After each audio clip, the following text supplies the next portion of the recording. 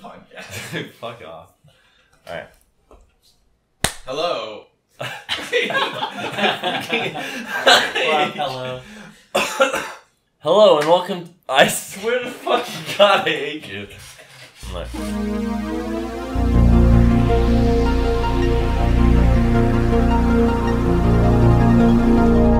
Hello and welcome to the Nothing to Play podcast, a mediocre podcast about video games, movies, and Sacagawea coins. Uh, we have the special Indiecade episode this week, and we have more more guests than ever. We have too many guests, and we got returning guests like Bean Dip and Matt, and then we have new guest um, known as in the Valley as the Scottsdale Strangler. We have PJ Vilsaint. and then we also have uh, my life life partner and home decorating friend, uh, Win Win Timsky. Yeah, yeah. You need to learn how to play like pro mass in the houses. Yeah, I I did not read the directions well while playing, and I royally fucked us by the end of the game. Justin both develops games mediocrely and reads mediocrely. Yeah, it's a gift and a curse. And the most surprising thing to come out of Indiecade was Brandon not getting sued for his Final Fantasy game. Yeah. Give it time. yeah. Yeah. How, I showed I showed plenty of people. I'm sure I'll be screwed. What was the ratio? Because whenever I was standing by you, it was like, I think everyone that I saw play your game was like, ah, I hope you're looking forward to your lawsuit. No, it wasn't that bad. Like I had, I did have some people that were like, "So does Square Enix know about this?" And I was like, "No, no." But was it Of like- course they it- know you made Final Fantasy. Yeah. As as Matt and PJ were making sure to try to tell everybody. Like, Yeah, Shigeru Miyamoto is gonna come after you. yeah, you know, because because of all of his claim on Final Fantasy. Yeah, Well, he- yeah, he made all the games Everything on on the NES. this. Yeah. Every game on the NES. That's Right. right. Miyamoto. Oh, I saw a picture earlier today where it was like the NES and it was like innovated whatever. It's like Super Nintendo. It's like just better version of NES. And it was like N64 revolutionized 3D games. It was like GameCube just better in 64. And then it's like Wii and then it's like Wii U just kind of better graphic. Wii and then it's like Switch and then it's like whatever the next console is just gonna be a better graphic Switch. Yeah, you always, you always buy Nintendo stock uh, alternating consoles. yeah. yeah. Makes Which So is- next console, not so Sell. much. Sell, sell, It's a seller's market. Keep- Just ride that Switch as long as possible. yeah. All That's what she said. God damn it. Alright. Uh what what's some of the like like what was like your favorite game? Night game, any game that you played that wasn't your game. Not the game that won the award for night games. Elephant in the room. Yeah, there was a uh, like a weird schoolhouse porn game. It was supposed to be not safe for work, but it was very safe for work when we went and saw Yeah, it. when, when a few of us Yeah. walked in, three of us walked in, and it was just like uh like a dating sim kind of looking thing. It looked pretty, pretty. uh When I walked in by myself earlier, it was like a weird music video, but like there was nothing, there was Yeah. nothing like offensive about it. There were a few of those music videos, It like looked in like various your- parts of the game. It But- looked like your classic itch.io game. Oh, oh yeah, but trust me, it got really weird. Yeah, like very pornographic and Yeah. PJ and Brandon said that they saw some beef curtains open up, and there's Yes. like a dick temple inside. more or less. Yeah. more or less, definitely Paraphrasing, but more. it's It's like, and then the character was just asking to try to get dicks with Yeah, with that- their main guy. Yeah. And there were people in the in the crowd that was very excited about. that's guaranteed to be a fan favorite at an event such as IndieCade.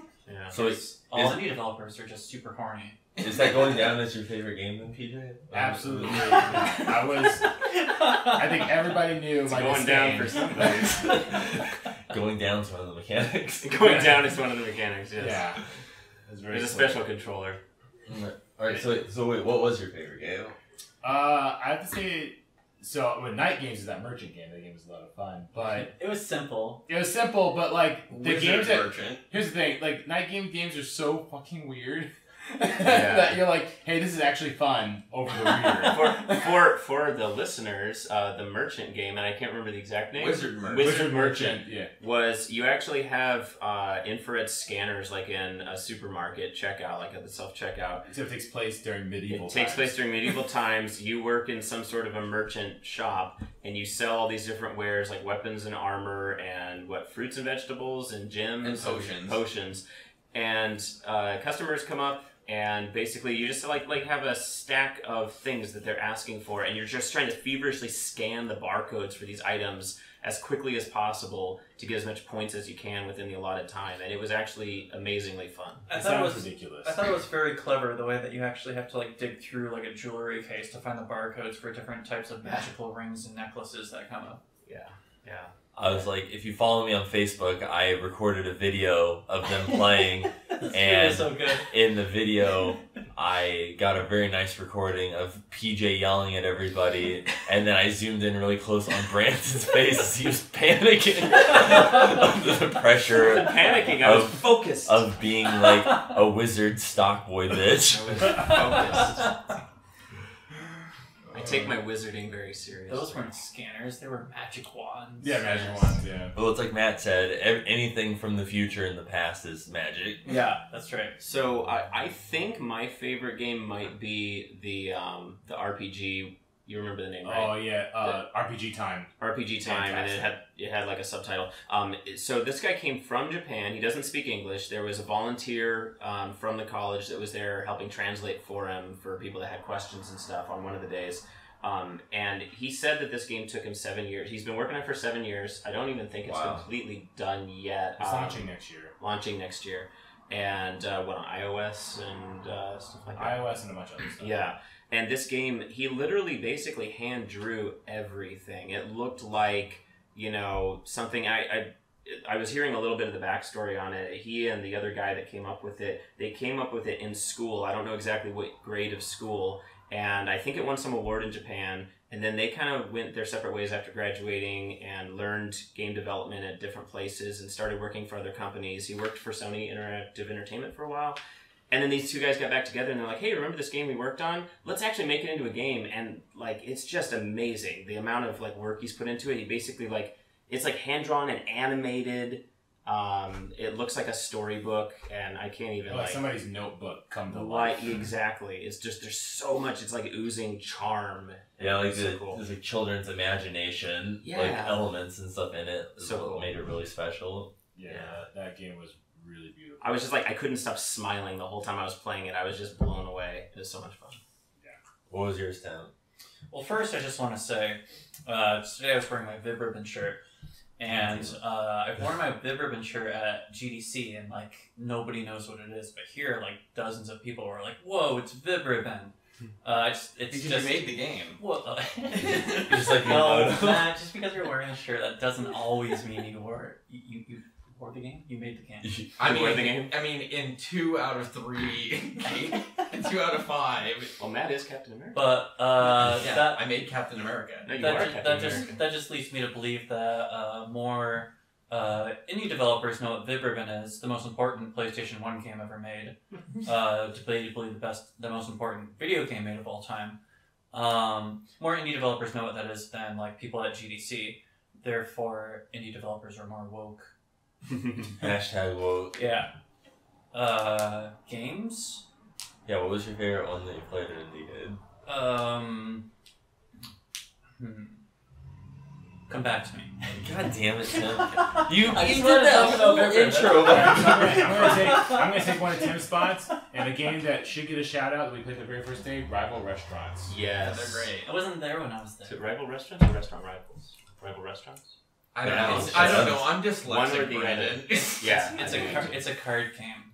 Yes, For the it's a listeners. tabletop card game where. Do you want to describe it? Yeah, it's a tabletop card game where everybody represents a different type of kitchen, and then there's a giant market in the middle, and you're trying to all buy ingredients, uh, and then you have to like barter for those ingredients. and Yeah. yell and shout About over like, each you have other one minute- what you want. You have one minute to just like barter and shout and like give me the ingredients I need. Well, and you can you can collaborate with other people and help them out, or you can try to screw them over. So you can say like, That's "Hey, my favorite hey, part. does anybody need need these ingredients? I'll buy them for you." And sometimes, and you can decide if you want to give them a discount and say, "Hey, you know what? I'll just give this to you. Like, I'll trade it to you, or I'll mark it up and and like make some more money because you need it real bad." Like, you can decide how you want to do it. And the idea is that you're using these ingredients to cook these different dishes that you have. There's a simple dish and a complex dish, or unique dish, as they say, and they're all worth point values. And as you get more, cook more dishes, your point values go up. But the twist is each time you do a dish, you get a bunch of trash, And so And the that counts trash are- against you. They're negative points, so you can't just be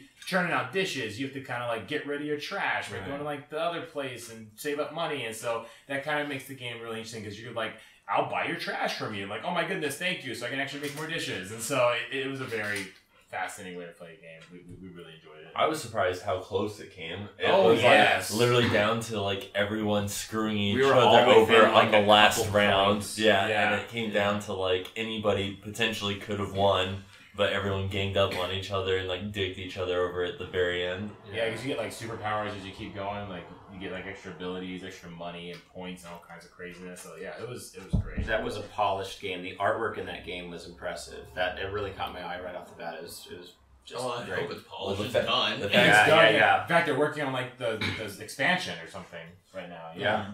yeah. It also had so many puns. Like Tim would buy that game. Yeah, yeah. that is what I base my purchases on. It's true. it's true.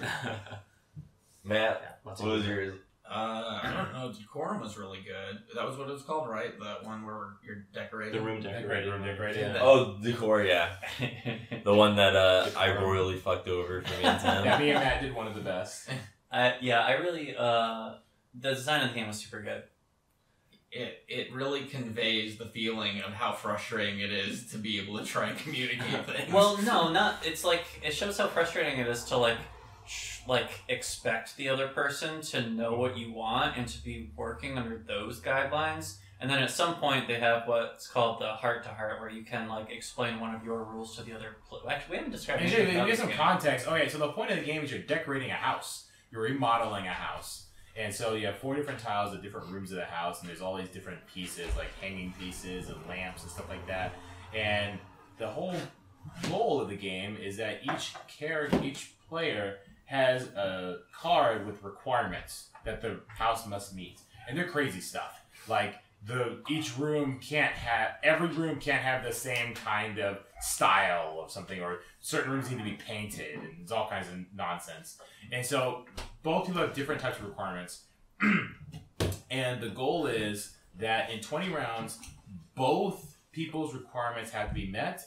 Yet they can't talk about those requirements. The only feedback you get once you move something is that was that okay with you? And the other person can only say that was good, that was okay, or no.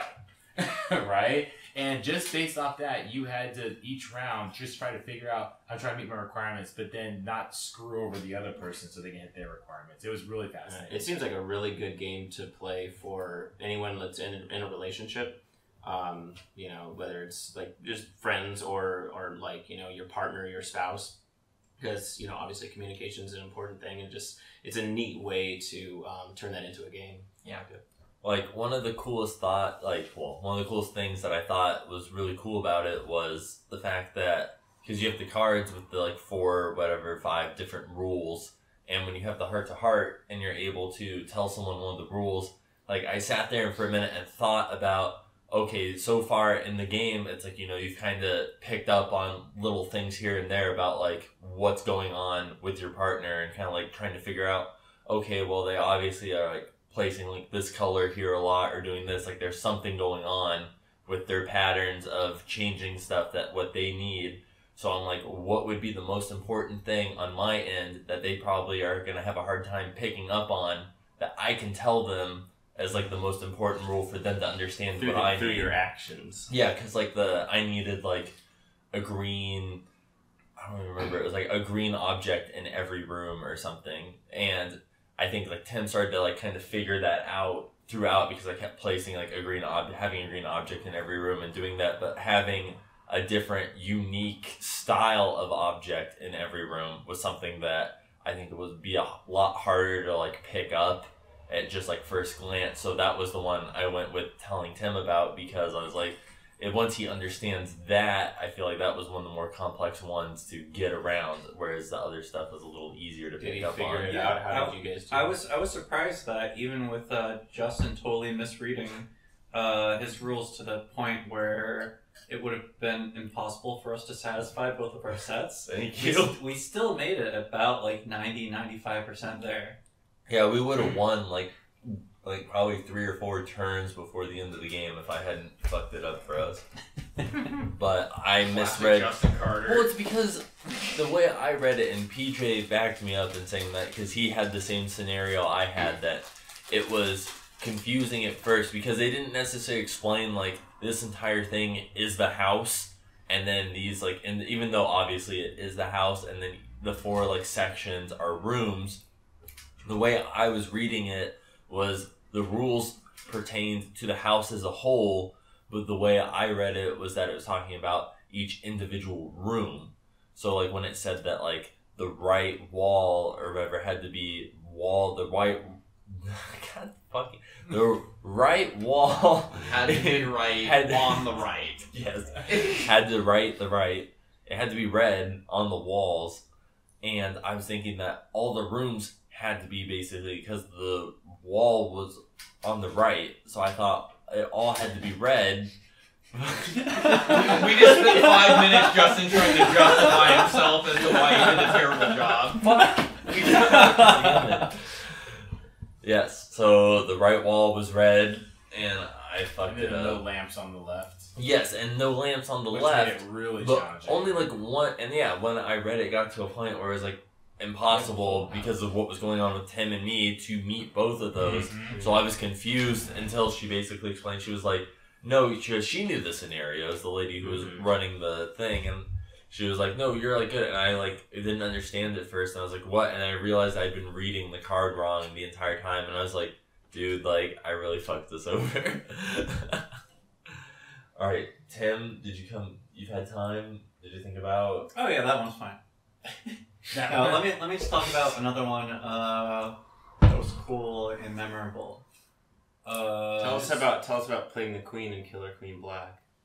Oh, well, Yeah, speaking Queen- of doing terrible. hey, I, I won one round. You jumped at the fact of being the queen, and then you. Hey, I, I got pretty good at playing as the queen in the uh, arcade version. But also in the arcade version, I would get a big boost of uh, energy because we had the best. Um, like like to enter an arcade. The best people. No, well, Around. to enter an arcade tournament, you have to have a name for your uh, your group. Uh, we, we would always play as the, the Miss Beehivers. Uh-huh. Uh, I see what you did there. You know, Queen is would be a missus. Yeah, we get it. yeah. You're the reason why. beads. You're the reason why they're endangered right now. Yeah, they'll- that's a California fighter. They all flew away after we made that joke. Um, yeah, this one just has it has very different uh, mechanics. The other guy was doing surprisingly good by spamming. Yeah, and to be honest, like Indiecade has so many good games. Now I'm talking about Indiecade. I'm not talking about the night games. I'm talking about Indiecade itself. The actual people, you know, Yeah. actually uh, showcasing, you know, whether it's different messages, different like uh, ways of playing. Mhm. You know, There's the one game, um, Blind Spot, where there's no graphics. The entire thing is just a black screen on an iPad, well, and you have to yeah. play by touch. You're feeling vibration to tell you like if you're getting close in proximity to a particular spot on the screen, and it, it's actually really chills in game. Like just put headphones on and sit there and just kind of slide your fingers around and find these different spots. super innovative. Yeah. Or like war tweets. The War tweets. a is game of just about like stopping missiles from Donald Trump based off his actual tweets from Twitter. actual tweets on Twitter is actually like tapped into his real Twitter feed. It's that is fascinating. Yeah, it, it gamifies responding to tweets, uh, to Trump's angry tweets. It's crazy. I'm surprised you didn't talk about uh, Patrick's Parabox. Patrick's Paradox. So that's the game that did win Audience Choice Awards, and it absolutely deserves it.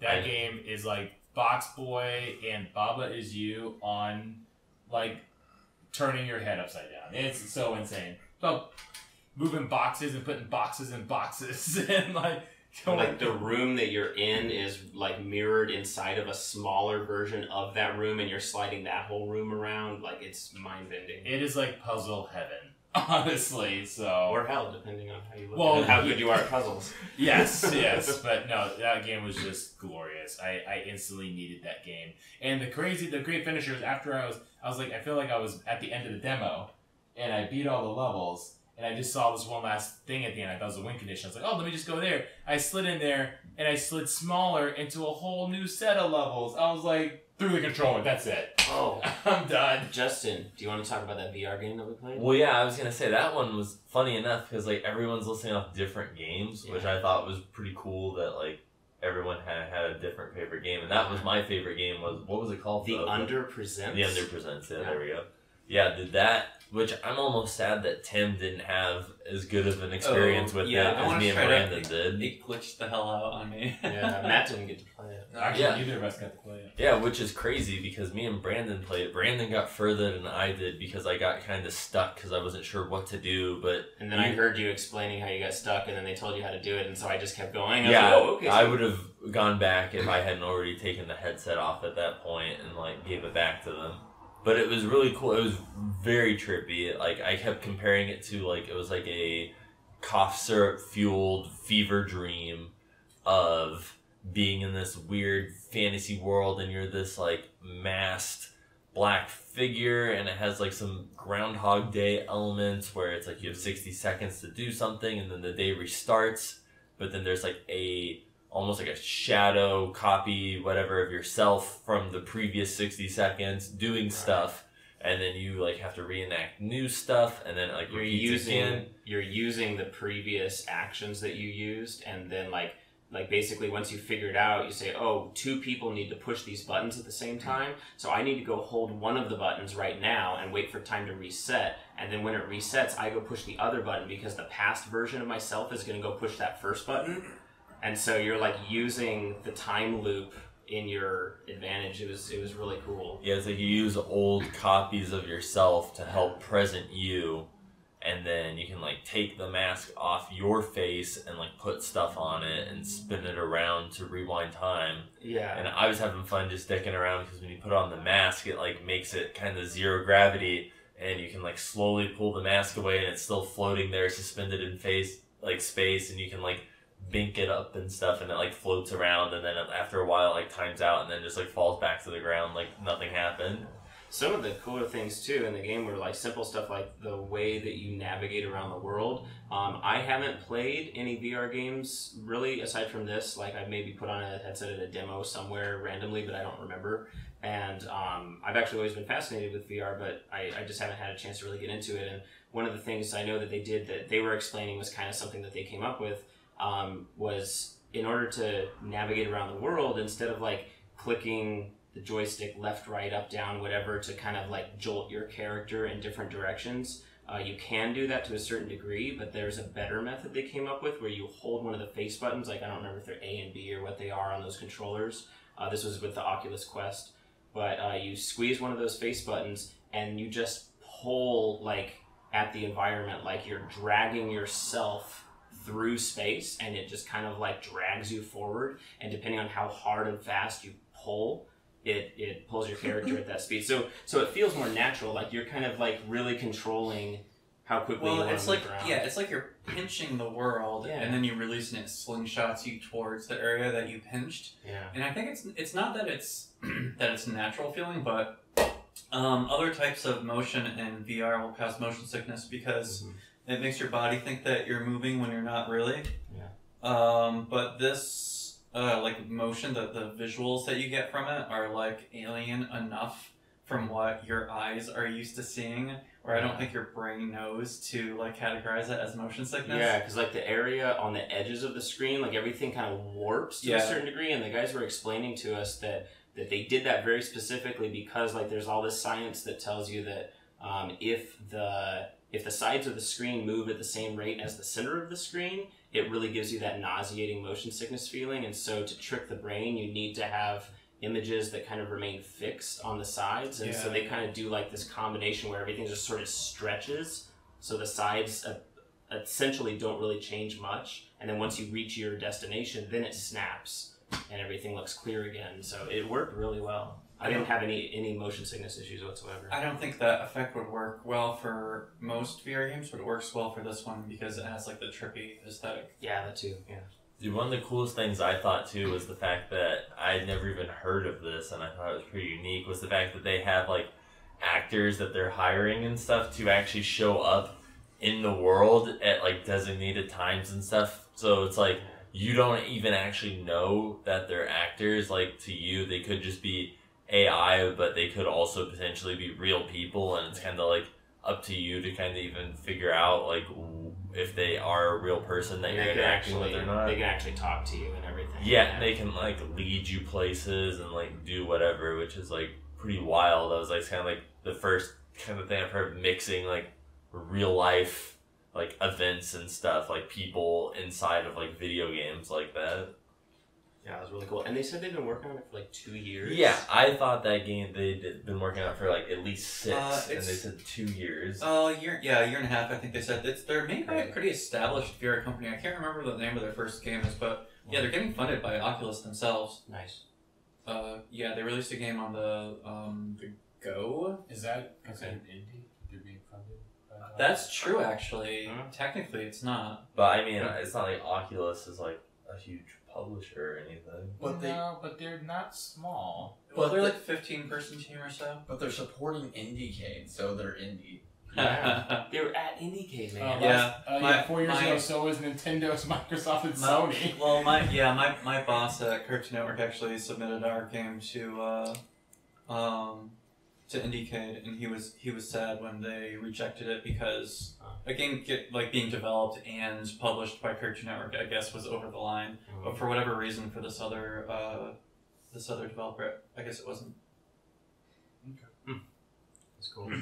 Now, what did you think was like? What was like one of the well, I say worst, but like your like least favorite things? Worst. that indie- Worst memories about it that will Top haunt you forever. Other other Top- than other than top anything ten we've already worst mentioned. Indiecade moments of 2019. the award ceremony. Holy crap! It was boring. It That's what I was gonna wasn't say. It was. wasn't It was, dude. It was. Their interactions were so forced, and The, the who cares? jokes- the writing wasn't great. The joke yeah. the joke writing Yeah, was Yeah, it was awful. I think they at least had like they, they obviously had projectors. They had like forty projectors set up on the the game night tonight. If they just like used a projector and like showed like screenshots of the games they were talking about, That's it would have good, been a little bit. Yeah, That would have been well, cool. and my So thing. they're just like talking about games, and it's like nobody knows what they're talking about Right. most of the time. Well, and it's like the only thing I had to compare it to was 2015 too, and it's like one they had the projector stuff so you could see what games they're talking about, but you also had a list of all the nominees. Like I had no idea who was even in any of these categories, just the winners. So No, I was I, like, I agree. True. I'm not Who's saying it's better there? than True. 2015 by any Yeah. stretch of the imaginary. But the thing is, like, they're being awarded, like, the context of the whole thing, too, is hard to call it boring. Like, we're there for to celebrate people who have, like, done an amazing job in these Right. games, too.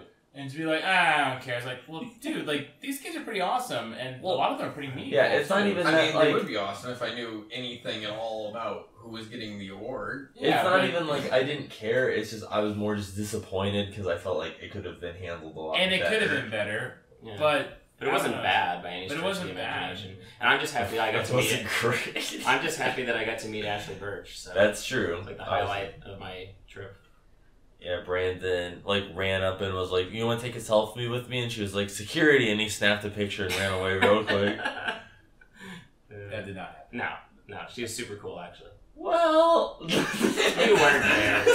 You weren't there because you guys were so bored that you took off. Well, it's 'cause we got- eat shawarma or something. Well, we got curry, and I had like a gallon of Thai tea, which my body can't process dairy, so I had the rocket shits when I got Oh, back. that's smart. Yeah, Oh well, but I knew I'd be coming first. back to the Airbnb. Uh, so you could shit in the bathroom before we got here. Yeah, and right in the sink, which drains. Speaking That's of why our- it's drinks. So Oh. let's talk about our Airbnb Yeah, the experience. Air- Oh, jeez. B and B was. I, I'll tell you what, like whoever took the pictures did a very flattering job. because they like knew all the right angles. Like because in the pictures, all those cabinets have handles, and it's like I almost think they took the handles off other cabinets around here, attached them, or they photoshopped and used the clone tool and just cloned things on where there weren't. Because Yeah, there's They- just there's holes where the handles should be. well, yeah, there's Did they also make it appear that the kitchen is an actual rectangle and not this weird trapezoid Well- where you like trap someone in as soon as you enter Well, yeah, because they never took a straight shot picture from the kitchen. It was always kind of like be behind the counter of the kitchen, or you just caught like a glimpse of it. They knew all about the rule of thirds. Yeah. Uh-huh, yeah. And in the bedroom, I thought it was funny too, because like you can totally tell they had like three like little Target vertical decorative mirrors, and there's only one. But on the Yeah. wall, you can see the outline from where there was obviously two other mirrors that got broken from like people. I'm assuming banging in the room and hitting the wall. And don't get too loud in here because uh,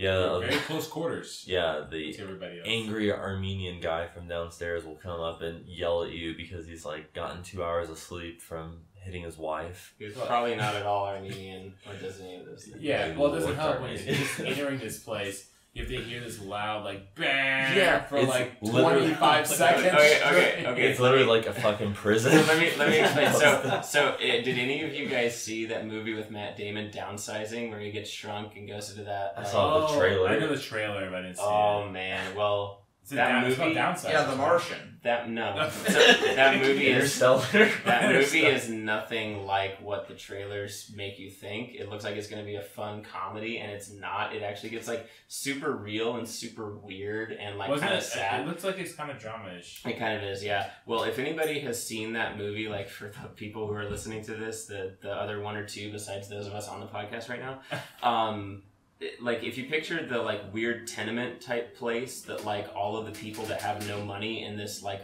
small world live, that's basically where we're staying right now. We're staying in this weird place. It's like multi levels and like people's trash is just piled up outside of their their doors and there's like broken bicycles everywhere. it's weird. It's really weird. But then again, I've also stayed in worse. so having like your own shower and bathroom. Oh, GDC Yeah. 2015, Yeah. 2016. Yeah, we stayed at this weird. closet. I say it's. I call it a hostel. it's but a closet. I guess it was a closet, but yeah, you like walk in and like the door's hitting the sink, which is fucking behind the door for whatever reason, and like there's like one bed, and then there's like the little stand with the TV on it, like pressed together at the end of the bed. It's more like when you open the door, the view that you see is everything that's in there. It's like if you imagine living in a ten foot by like twelve foot space, that's like no, pretty much what ten it was. foot by like six foot space. Whatever. It's ten foot. That's the whole space of the bed, the single bed. You have room to stand up. The other room is just so the door could go like perpendicular to the bed, Dude, and then or parallel to the bed. Since we've been here too, Los Angeles is also on fire, which marks Oh, the second time I've gone on vacation and the city I've been in has been on fire. Which Yeah. I'd love to actually like go somewhere that isn't like burning to the fucking ground Well, that'd I'm be here. great if you didn't set every place on you go on fire. Well, The my, amount of playtests we've done, I can hardly call it a vacation. oh, that, that well, yeah, it's pretty exhausting. Yeah. yeah. But also not having to deal with four dogs for a week is like a vacation to me. Or seven. Or two rowdy kids, Yeah. Yeah. or Yeah. whatever Tim has. No, Yeah, Uh, Tim's goat. I don't have a goat currently. he lost them. Um, so how like for the week, like how did how do you think like all the playtesting like went and stuff for like how did it go for boss battle? It went really well, actually. Uh, you know, the first day we were just kind of getting our bearings down, but we still had a good outcome. You know, we talked to a lot of good people that gave us some good, like, kind of advice, and so that really sharpened up our demoing. And so we kind of got it down to a science where we can get people in it. I mean, our game typically takes like, you know, we're on the box is forty five to an hour, but it's like an hour to, you know, hour twenty minutes or something. But we were able to get that bad boy down to like thirty minutes to even down to like twenty five minutes in some games you know, and so that that really helps kind of be able to churn people in and out. We and then today we were getting people who weren't even playing the game who wanted to give them our information to learn more about the game. So that was like kind of a first for us too. So it was it was a good day today. yeah, I know. I could sell everybody's information on the internet now. Yes. Yeah, so good weekend, I should say. Sign them up for those twenty four hour fitness emails. Yeah. Need to get some money for all the art we need for the game. Yeah, right. but yeah, no, people were pretty pumped for the game. and people were genuinely excited, and uh, that was that was very exciting. You know, usually we have to like really pry people to just play our game, and then people were waiting. I mean, yesterday was interesting. We were like, yeah, we're all done with playtest. Like, Are you seriously not going to let us play test? We're like, okay, if you absolutely want to play right now, Jeez. we'll set up. And it's like we've never had someone like almost force us into a play test. I know. I was excited for you guys too that you actually had like were able to get like all the art on the cards and stuff to show that off because it was like I think the first time where you had the majority of the art on the actual cards for people Yeah. to play Yeah. with. yeah, So that that probably was helps really a lot. As We well. because lot it makes it look so much more complete and stuff. And like there's real like eye candy on the table pretty much. So No, yeah, and we got a lot of compliments for the art too. So Mhm. we really, we definitely picked the Yeah, I right heard one of the guys. I think it was earlier today when he was talking about. He was commenting on or complimenting you guys on the art, and uh, he was like, "Yeah, this is great." He's like, "Don't change this. Don't change this. This is great." that was cool. Wait, wait, wait. Do, you, do your impersonation of PJ. When you, Oh, when you moved yeah. across the room, Oh, man. Brandon was like, I was like, man, I was like, because he was saying, like, like, you can hear PJ from, like, anywhere in the game tasting area. Well, my favorite part of, of when PJ like demos the game is he gets people to sit down and kind of like brings them in all like nice and friendly. He's like, okay, okay, so um, we're gonna play boss battle. So you're gonna pick a job and you're gonna be okay. So you're the thief and you're the mage and you're the priest and then this guy's gonna be the boss. Okay, boom, this is boss battle. Okay, so this is what you do. And it's like suddenly very intense. Screaming. And like I think people are just afraid to get up and leave. at, at, at one point, the indie people were filming you as you were going like bad Really? shit on these like three Asian kids like sitting there like they're trying to figure out like what the fuck like this word even is, and PJ's like, okay guys, you kids, you you you, what the hell are you even holding there, bro? Like you gotta Speaking of Asian kids, one of the most ruthless bosses we've ever seen was this like quiet little Asian girl. She's like, "Oh, I'll play the boss." Okay. She murdered those people. She was like, "I don't give a fuck. I'm gonna mass murder everybody." And She's she is a real kaiju from Japan. yeah, Like, as Matt and I were watching, we were like, "Oh my god!" She just like she was like, "I'm gonna kill you," and I got backup kills just in case you block that. And someone did block. It's like, "Yeah, that's gonna kill and I got another one just just in case you block that one too. You're gonna die, and it was an awful death. No, we've never seen anyone who plays the boss first time. Most of the time, they're like, Yeah. "Oh, I'm gonna kind of be nice," and it's like, "No, this person murdered all for the way the that's heroes so cool. Yeah, in three rounds." If you do like 10 damage in a round, that's like a ton of damage. She was like 21 damage to everybody. Oh, by the way, I got 16 damage waiting for you after that. Bam! Oh, I got another 10. You're like, what the hell? PJ, you're gonna make the angry Armenian man come. I'm sorry. And this is by round three. I hear if you yell three times in the bathroom, the angry army. if you knock three times on the mirror, he knocks back. But needless to say, it was exciting. And she did give us her information. I think she liked the game.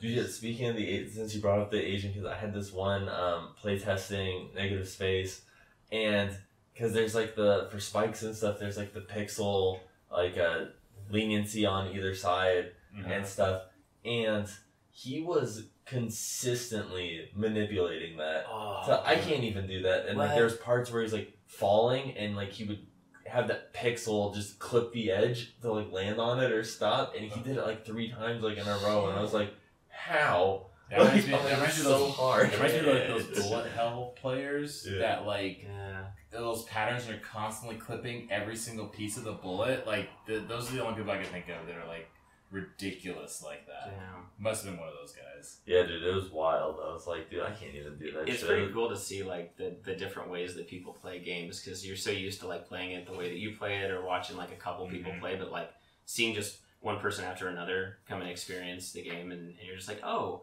wow, uh, so that's how people play it. Okay. Well, That's- we're used to a lot of bad players, Mm-hmm. like you know.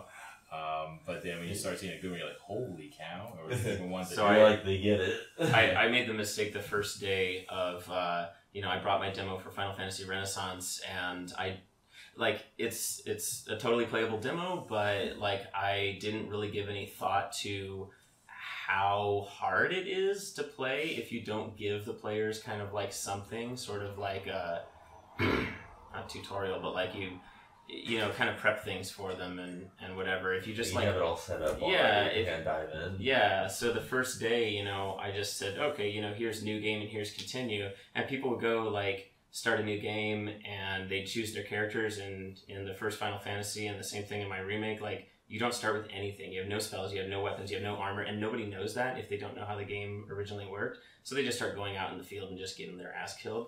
And it's not very fun. And so people listen, and so I'd have to explain to people how to play, or I'd like take the controller. I'm like, here, let me get, let me buy some stuff for you, and it just that was tedious. And yeah, so that so after the first night, I went and changed it and created like a special Indiecade demo build where you automatically start with like a bunch of starting gear and you get a couple levels and stuff like that, and, and that helped a lot afterwards.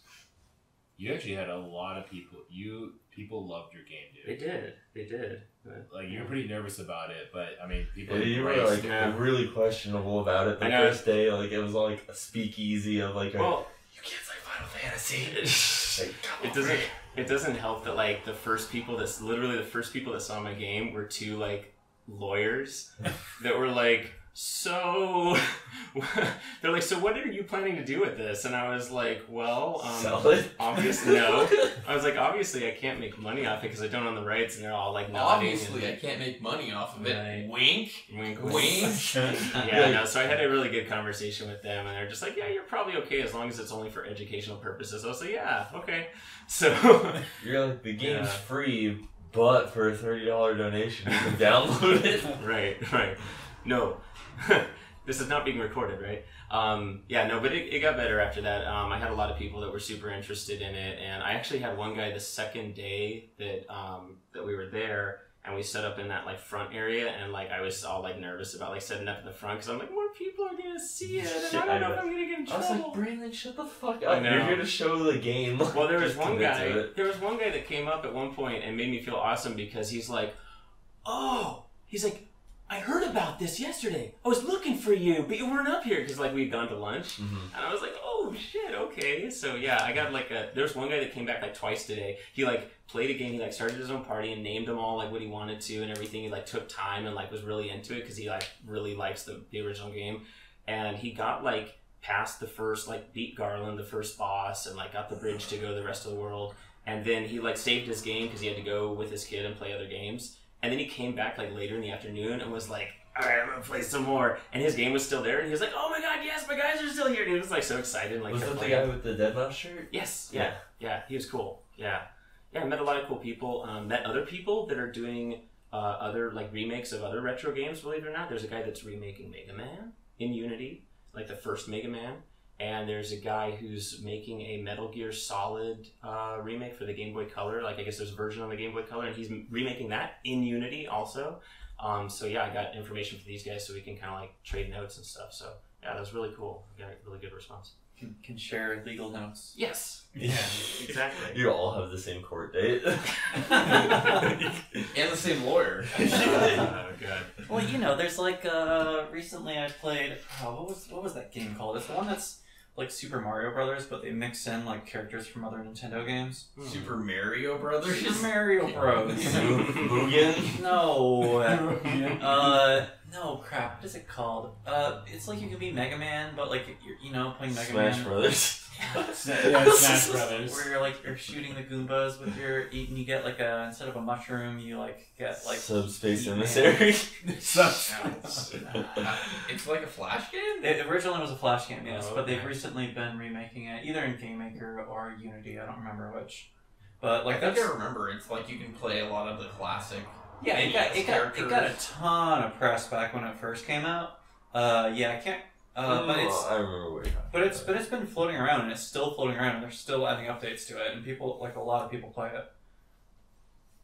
Um, uh, speaking of Unity, I was pleasantly surprised to learn how many people use Unity for their games and how many diverse, like completely different types of games and like super advanced games um, people are making. And I'm like every game I played, that was like my first question. I said, "So what are you using to make it?" And usually I'm like, "How long have you been working on it? Mhm. Is it released?"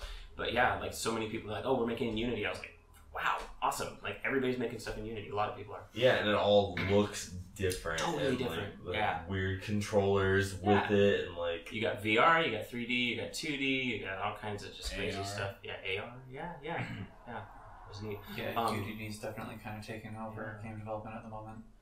And Tim, actually, were you showing a game while you were here today? Or No. this? Uh, yeah, uh, yeah. My boss considered it, but uh, Oh, right, our game already came out, so I don't really know what we would have gotten out of showing it off. It already came out and it's already free. nice. nice. if you listeners You have, yeah, I'll just give a, a, a, a, uh shameless plug. If you have a uh, VR headset, uh, go on Steam and get a game called Cartoon Network Journeys VR and leave some uh, things about it. I made the gesture game. Can you play as Ugandan Knuckles? You, uh, no, no, that's that's a different VR game. Well, I will be getting an Let's Oculus. Quest by Christmas, most likely at the latest, and I will definitely check it out. Right on. Is Quest the standalone one? Yeah, the the, the wireless. Yes, you'll Yeah. need you'll need the link. Yes, I will. But I'm looking forward to getting Yeah, that. Yeah. um, Justin, I think you're the last one. Like, how did Negative Space go? It went really good. I got a lot of play, especially today. Dude, today was packed. Yeah, It was- crazy. It was. packed I didn't take a break. It was, dude. Near, I didn't eat lunch. And I the only thing I had was when we had burger for dinner. I ate and, uh, both of my Clif Bars. Yeah, I was like two fisting goldfish while we waited to play that decor game because I was starving. but um, Yeah, but dude, your booth actually this whole weekend was stacked. yeah, dude, pretty much yeah. Yeah, people like waiting back. around. Yeah, dude, back to back. Like it was like Friday, Thursday. What day is Thursday was the first. Yeah, day. Thursday- Saturday, Thursday. Yeah. Thursday was the first day. Yeah, Thursday was like pretty was packed slow. from like it was slow at first. It was slow Yeah. from like like at ten, But, but, slow then for you, dude, was still two people sitting at the chair. Well, playing. that's true. Like ev- I will say, every day before ten, before it even technically started, I was like, I had people in the chairs because someone would just be like standing there, kind of looking around. So I'm like, Hey, you're not doing anything. You want to play a game? And they're like, Uh, sure. And I'm like, Cool, here you go. And they hand the control. I'm like, You're not doing anything. You, can play the game. So that was cool. And yeah, like Thursday kind of like picked up, you know, a little bit more in the afternoon after like everyone kind of had lunch and decided to kind of mosey on upstairs and stuff. It got a little busier and stuff. And then Saturday or Uh, Friday yeah, I'm like all mixed up. Yeah, so Friday was a fucking ghost town afternoon. Like after 12 hit, like we went back. I was like, oh man, I kind of want to go back up and like possibly like show negative space some more. And I went up there and it was just dead. Yeah, there's and a I bunch was of like, schools that came. There's like a high school, right? Mhm. yeah. There's a high school, and it looked like some other schools. And then that was busy then, but then as soon as those left, nothing. Yeah. Yeah, Just- so I was like, it's not even worth setting up everything again. I'd rather just go play games at that point.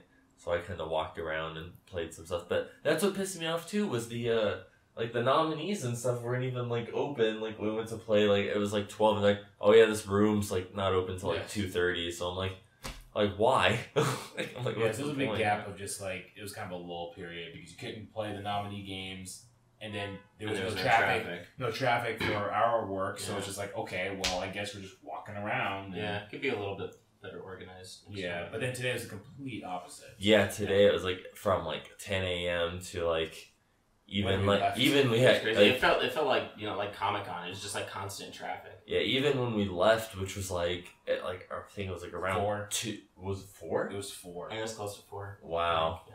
Yeah, I was like, I thought it was like two, but yeah, it was like crazy because like every time like I was like, oh man, well I still want to go kind of play some stuff, so I was like, as soon as these people are done, I'll close it real quick and get. But it was like I never had the chance because as soon as someone got up, like Mm-hmm. someone immediately swooped in, and half the time I felt bad because people were playing on like later levels because I didn't even get the chance to, like reset the game before they started playing. I didn't know that. Dude, like, this awesome. is evil. This one dude came in on zero dash seven. Oh And my goodness! I was like, and I was like, we're gonna offer to like reset it for him, but he kept playing. So I was like, Wow. all right, I'll just let him. So he got like halfway through zero seven, and then like gave up, and then that's like next like little like Asian mom came to play, and she was like.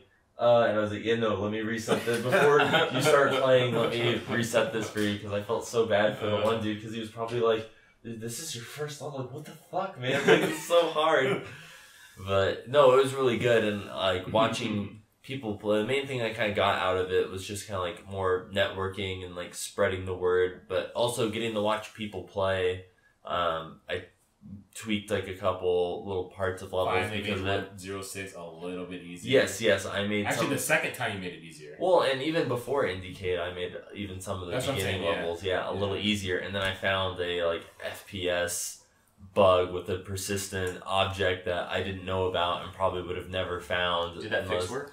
Um, as far as I know, uh, a lot of people because I've kept forgetting to reset it to have the level display up, but a lot of people were playing with like the timer and death counter Yeah. and stuff, but they weren't playing with the level thing up. but as far as I know, it worked. So Good. I mean, there wasn't any frame rate issues at all today, Yeah. so that was nice. And you're going for even more hours in that first day, so you're probably good. Yeah, dude. I mean, even like I felt bad too. It was funny because I had one of the like the a lot of the IndieCade volunteers the one day were playing, and it was like funny because like, well, no one's around, and then it started getting busy, and like the one dude's like. Uh, dude, why don't you go over? I'm trying to play this. like, it's like he's supposed to be working, and he's over here fucking around. We had that yesterday too, where uh, Leah, who was super helpful by the way, she's shout like, out to she's Leah. like yeah, Leah. Yeah, she's Yeah. like running that whole area. the Yeah, she was games scurrying and around yeah, everywhere. and she's a silent MVP there. She's Uh, awesome. yeah, she was awesome. Anyway, yeah, she tells the one guy, "Yeah, could go ahead and train this dude," and then the, the dude stands like. Yo, just go and walk around. I'm, I'm busy playing right now. He's like busy playing boss battle. He's like, I want to finish my boss run. So that was like funny. Like I was like, if you gotta go, you gotta go. No, no, no, I'm still playing. Yo, just, just this is what you gotta do. Okay, bye. All right, and then get back to the game. So same thing. Like that. and that was yesterday. That's because it got slow. So But yeah, today was like pretty packed, and there was like a lot of stuff. I didn't even get to play any more of the uh, IndieCade nominee stuff, and I heard that room was just that room was packed. The one day we went, I can only imagine what it was Oh, today yes, after yeah. the awards and stuff. After bringing a lot of attention to like other games. That one room with all the just tables, the the tables lined up like that, where like the RPG game was. oh a yeah, lot you of can't even walk through there. You couldn't. Yeah, it's really hard. Well, to yeah, I felt bad because there. yeah, having like a huge backpack and Yeah. laptop bag. Like, Yeah. excuse me. Oh, it's, and there's like three people standing there. I'm like, Knocking oh, people over. Excuse me. Yeah. yeah. Yeah, you couldn't even get in there. Yeah, and I mean it was so packed. I mean, some people didn't even know what the hell they were doing for their games. There's people wasn't there. Like, like I said, like the game that actually won the best of show was it the the dicey Dicey Dungeons. Dicey Dungeons Dicey was the yeah. best of show? That was best. That one best. Oh, of so show. you should know. You got. I didn't pin. see it the first day So- because it was so hard to get to it. When you guys were here in 2015, because I I love Dicey Dungeons, I was really surprised that that would take uh, the major award from something like this. I was surprised too. From, from what I understand, like like that's that's the kind of game to more like win an award from like the IGF or something like during GDC, the Indie Uh, Game so what I've learned, the games that typically win Indiecade win IGF. In fact, the two times I went to GDC, the game that won was the same game that won. Because I thought I thought like IGF and those kind of were more of like a, a celebration of like traditional good game design and like kind of the marketable side You're right. indie Dicey games. Dungeons is more mainstream than like anything else. Yeah. Because like her story won in 2015, and that's not a normal. No, game. her her well, her story was very uh like critically and financially successful. And Well, it was, but what I'm saying is that did you say that one indicated? that one indicated. Oh, that one like everything at IGF also. Yeah, exactly. Yeah, but that's what I'm between saying. It won house. Yeah. indicated first. They went to IGF and just destroyed everything. right? Oh, So that's and the same thing. 2012. I'm trying to remember what won, but the same game that I saw in that Indiecade 11 and GDC 12 just went in and took all the okay. I guess yeah. I was wrong then. Like, cause yeah, this was my first year at Indiecade, and um, in the past I've like checked their website. Uh, I think way back when I might have actually submitted a game to Indiecade too. Um, but uh, my impression was that it was like more of a celebration of like the like obtuse like like hyper artsy like unmarketable kind of like like show it to like an average person And, like and you're somebody right about who that. plays Call of Duty or something and they're gonna be like what what that what the You're, heck you're absolutely and you're absolutely right. That's normally how the other awards are, but the one who like gets the grand award, like the the best. Of show kind of award, Yeah. that's normally something that's at least kind of marketable or is going to be. Something Yeah, and you do you see the the like whoa, this is like indie indie right, indie like stuff that here. um uh Anna's Memento or Anna's Memento. yeah, that's like an was experience. one of yeah one of the winners last night, and yeah, that's a strange game. Like it, it's it's cool, but it's it's hardly a game as much as it's just a, a AR and VR storytelling experience, Experience, about yeah. a real woman's like life and her like collection oh of art. And that was stuff. one of the paintings Yes. Yes. yeah yeah Yeah, and it's it's the actual the kid that created like kid the young guy that It's his- his created it. grandmother. It's his grandmother. oh Yeah, it's like a that's true cool. story of, of her and her husband and their love of art and collection of, of artwork over the years and her desire to create um, what was it like a like an art museum basically in China, pretty sure. Uh, Pretty sure it's China. And um, and, and what one of the people was telling me, who was there, kind of helping to explain. I don't know if she was a volunteer or what. uh, she was explaining. Is it? Um, she was explaining that now, as a result of him creating this game and getting more exposure of her story, because she had started creating this art museum some years ago, and it had to get shut down or put on hold due to various factors, including, I guess, some sort of government issues. And now, I guess there's a big push, and there's people that are helping to make it actually a reality as a result of, of the game that he made, which is super cool. Yeah, very and that's one thing I've noticed with Indiecade games in general is that like while IGF games and GDC games are more like you know these are traditional game design and fun. A lot of Indiecade games in those they're, they're a lot more than just games. A lot of them they- they have like a lot of deeper meaning or messages that they're trying to tell, stories. I'll never forget. Uh, you know, two years ago when I played, um, you know, uh, "Bury Me, My Love," which you know did really well too. Um, you know, and it was just like a story of like a refugee, like just like, you know, getting, you know, making their way through like Europe, and I'm like, oh my god, like that's that's some heavy stuff, you know, and and there's a lot of that. Mm. Um, you know, breaking communication barrier walls is one of the games that you know four years ago that I really loved, you know, and so Indiecade's all about that, right? And so it's like using games as a medium to like send a message or, like make the world a better place. And that's kind of what most of the games are. Mm. But there are still some that break through that like Dicey Dungeons, you know, they're just like, hey, the game is just fun. Like the game I just played just now, that like zippity, like what the heck was that game called? Like like a little zip dodging everything game, you know. Oh, yeah, yeah. Oh yeah, the jump grid. You know, you still have games like that. Oh, yeah, yeah. like yeah, you and that's know? something you would see on iOS. And that's something that you see on iOS. That's something that's something that you would see at IGF, Yeah. right? That would Yeah. get some kind of award. So kind of a mixture. so yeah, so you're right. Um, but those games still kind of pierce through here too. Dude, um, I'll still not, like that's the big thing too. I they took away from this Indiecade was like a lot of the games seemed way more normal than the last Indiecade I went through, the 2015 one. Like in comparison, for like the weirdness scale, like shit was way. Well, there was no weirder back in Conceptible, I'll tell you that. Oh, I want to give a special shout out to the game that PJ and I saw like really late in in the thing when we went inside, where you could play through the old Windows ninety eight Oh my screensavers in VR. So Oh, like the old Windows screensaver that had the maze that was made of like brick walls and the camera just floats through it, you could play through that in VR as if you're the camera. You're walking through that maze. I was like, that's And the really little cool. swirly psychedelic. I'm like, The why? pipes and stuff. The pipes were there. You could like. I, I don't know if you're like running along the pipes or if you're just floating in space for, for that so one. they but- like turn it into a game, or is it just like you're seeing the screensavers just in VR? No, you're No, like you're, you're- actually you're controlling it. it. You're controlling it. You're pulling yourself. You're moving yourself just, through the maze. But, you're just more or less like moving a camera, right? Like Yeah. you're not like turning it into like a game game. No. I don't think so. I think you're Yeah. just going from start to finish like the camera would.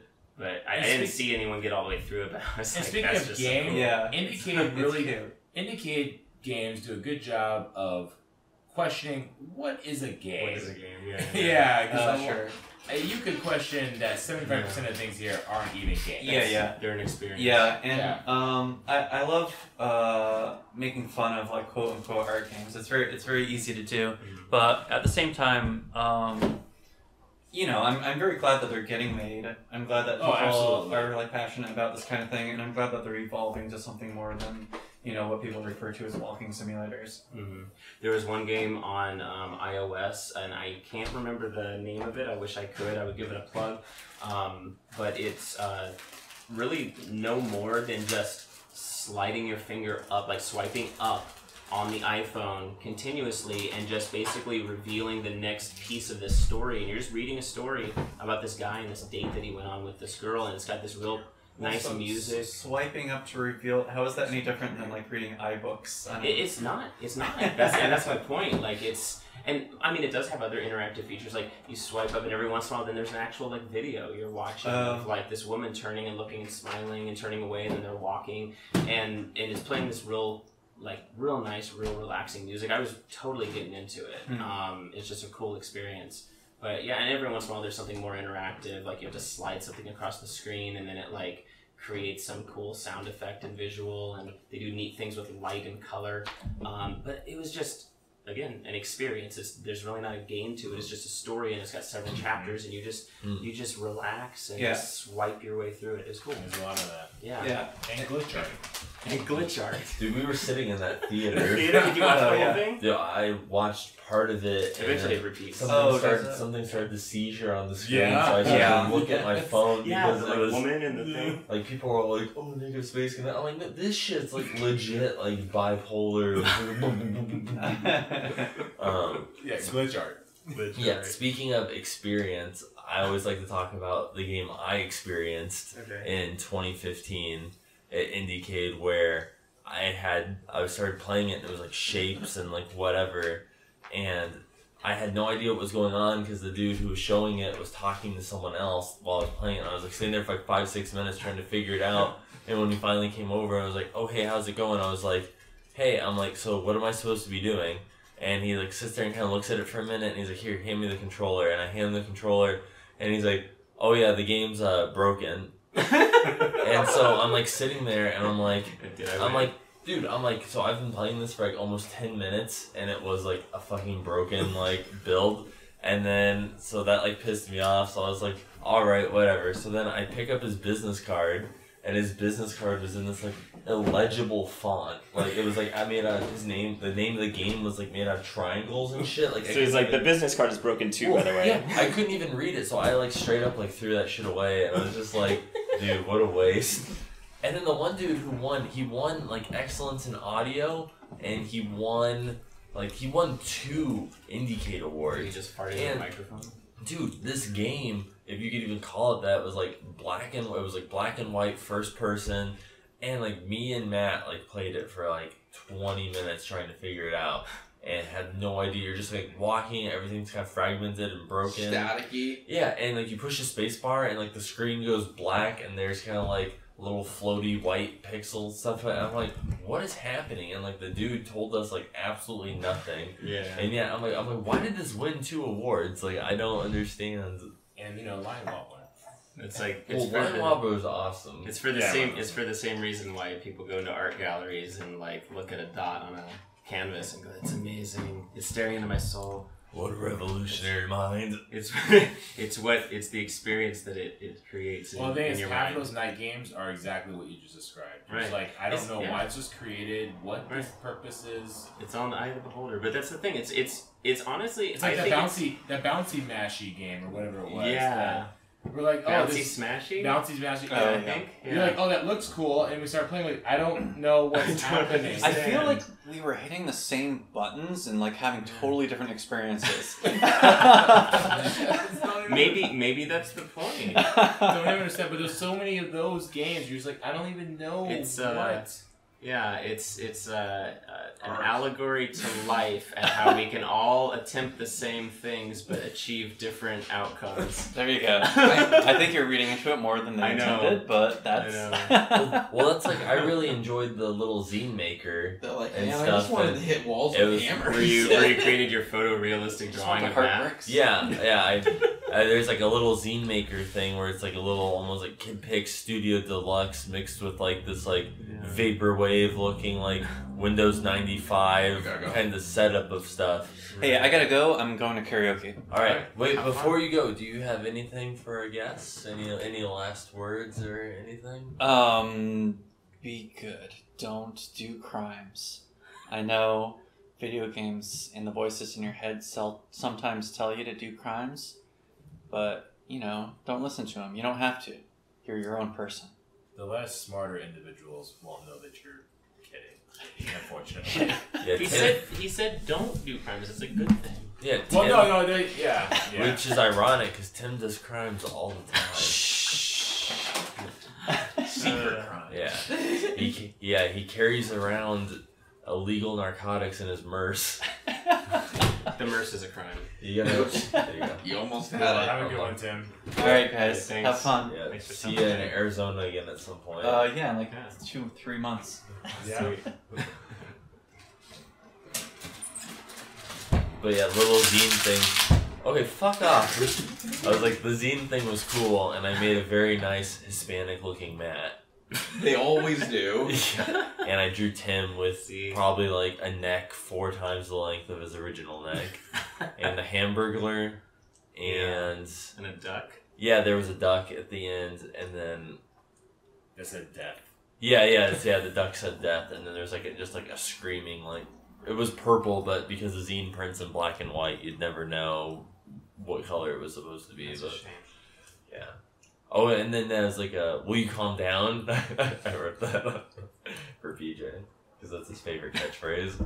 Yeah. Oh, is it? Yeah, dude. When we worked at the, his house for super fun stuff, he'd always like we'd get them all Super work. fun stuff. Yeah. Super fun stuff. Yeah. That's that's one of the sub uh, companies, right? Yeah, Uh, Super Fun Games. Super Yeah. fun Well, stuff. super, but we working on Well, the yeah, super fun, the 4chan stuff for super fun. Well, yeah, 4chan sued us for using the awesome face, so we had to go and change the name. There you go. Because Yeah. they totally did not. But, but we'd get PJ It's all not the exact same. we get PJ all like worked up, and then eventually come to a boiling point where he'd be like, "Will you calm down?"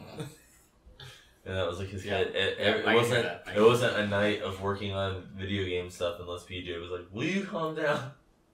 Sounds legit. Trying to get work done. Yeah, Well, we did.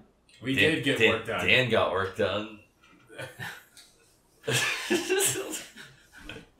Moving And- on. And now he's like Yeah. fucking pounding Faygos in Michigan because he's a juggalo.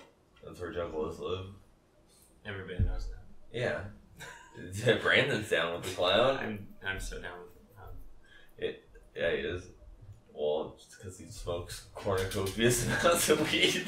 So how long are these things? Uh, I mean, we're at. that's a rather personal question. Yeah. Wow. Yeah, how dare you, How fucking dare you? Well, we're in this Airbnb in this tight space. Might as well get to know each other. Yeah. I mean, we are at the hour and five, but it's, it's about as long.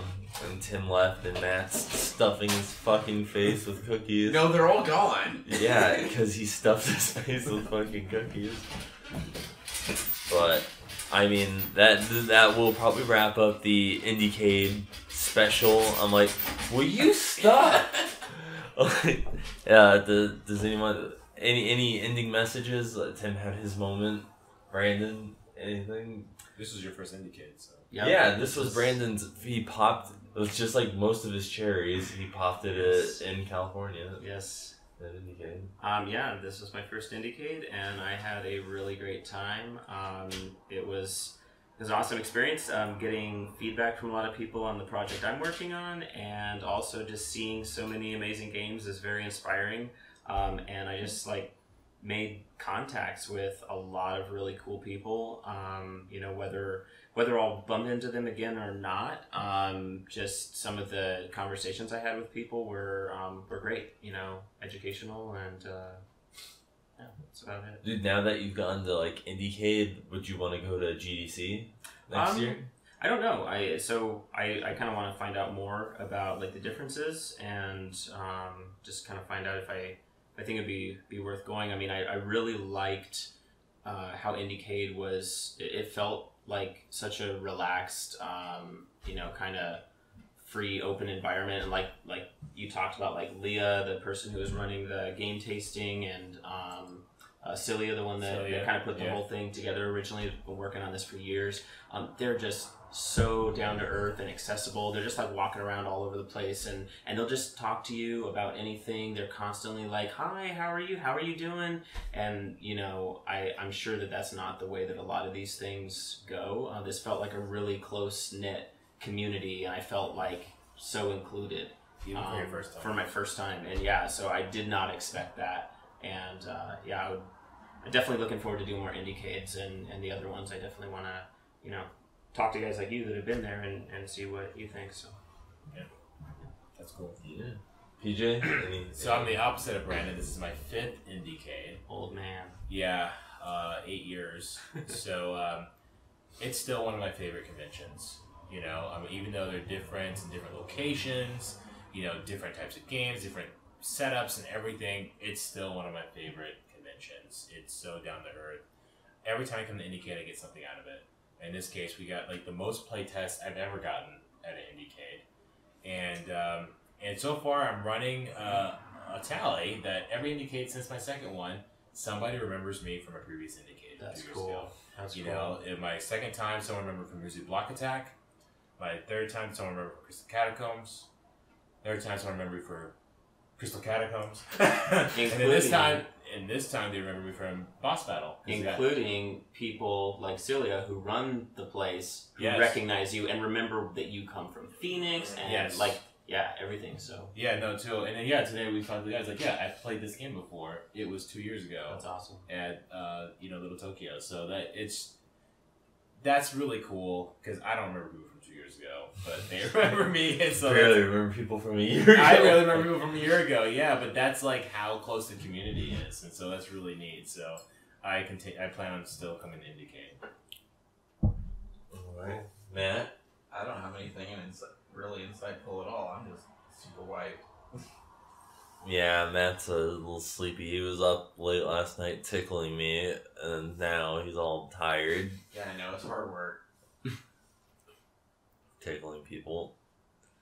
But yeah, and I mean, I don't really. It was my second Indiecade, and it was a lot of fun. And one of the people who actually came by, he didn't play my demo, but he actually was uh, one of the jurors for Indiecade one of the previous years, and he actually remembered my game and was like, "Oh, like what's changed and stuff." And he's like, "It Like, looks a little different." Yeah, like he he played one of the old builds that it was just the square with no eye or I think I anything. So that was like pretty cool that he remembered seeing the game, especially since it like looks a little different now than like it did before. So Yeah, you spent a whole year putting an eyeball on your character.